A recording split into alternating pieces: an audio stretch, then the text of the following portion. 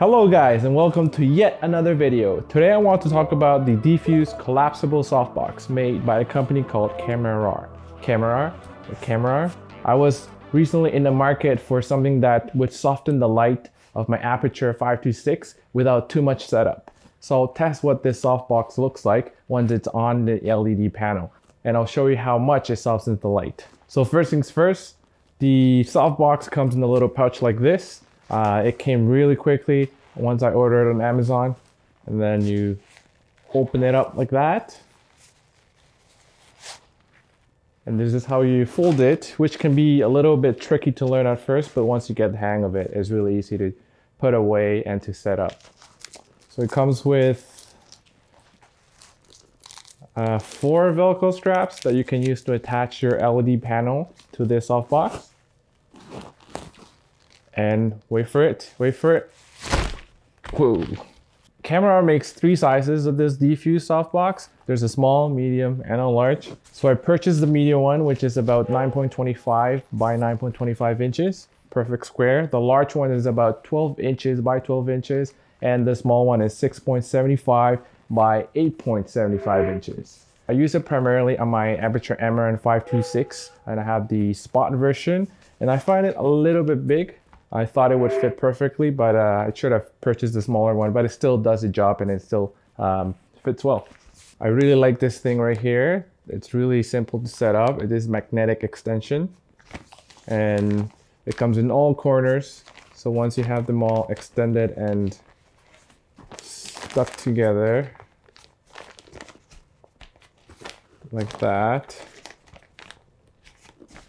and there you go. You have a little mini softbox right here. You would place your LED panel right here and you use the Velcro straps to sort of attach it behind so that uh, it doesn't fall out of place. So I use this softbox with the Aputure 528 and I have the spot version. I do find that the softbox that I got is just a little bit too big um, for this guy right here. I think I should have gone for the small version, but it still works and I'll show you. So you have your LED panel right here and you would have your light stand, which I am using right now, so I can't use it or we'll be in the dark. As you can see, the Aputure uh, doesn't fit um, perfectly here, but with the help of the straps,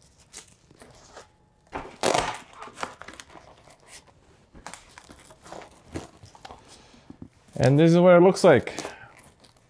Well, I could straighten it up a little bit more, but uh, you get the idea. So imagine my arm was a light stand. The light stand would rest in here and you would be able to twist it and move it around. And if I were to show you the front, this is what it would look like. And if I were to place it as a key light right here, or even a, as a fill light as well, it would work. Let me show you what it looks like once I put my Aputure right here where my other light is and I try to use this softbox to soften the light. So right now I have the Aputure 528S on me without the D-Fuse softbox. And as you can tell, I'm squinting a lot because it's actually really bright. I have the light set up at about 70% of its output. Uh, and let's see what it looks like once I add that softbox.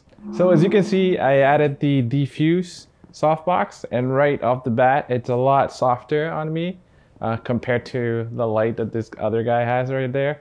Uh, you can tell the difference. Uh, the light is just so much harsher over there, whereas here it's nicely lit, nice and comfortable. I'll bring the light just to show you guys how I have it set up. Um, so we're gonna lose a little bit of a key light right here as I bring this in.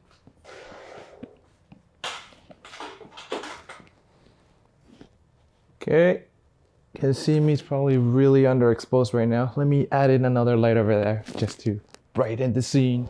All right, much better. So, as you can see here, I said earlier that I gotten the wrong size. So it's a little bit uh, weird right here. It's not perfectly in place. So I'm sure if I got in the small version, it would have fit the Aputure 528 perfectly. But uh, still works. It doesn't have to be perfect to give me that soft light that I want. So this is a really nice softbox, really quickly to set up and to take down. So now let's see how long it takes me to put this little softbox away. And starting in now.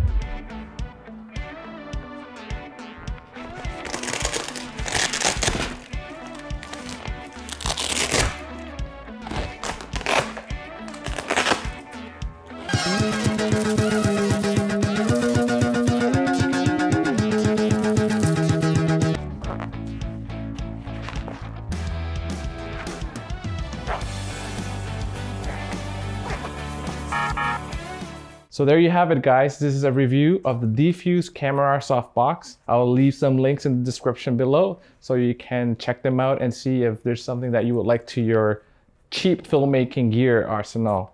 It was only 44 Canadian dollars, uh, maybe about 40 or 35 in US. It's really a no-brainer purchase for something that is so useful, so compact, and so, you know, easy to bring around and easy to use.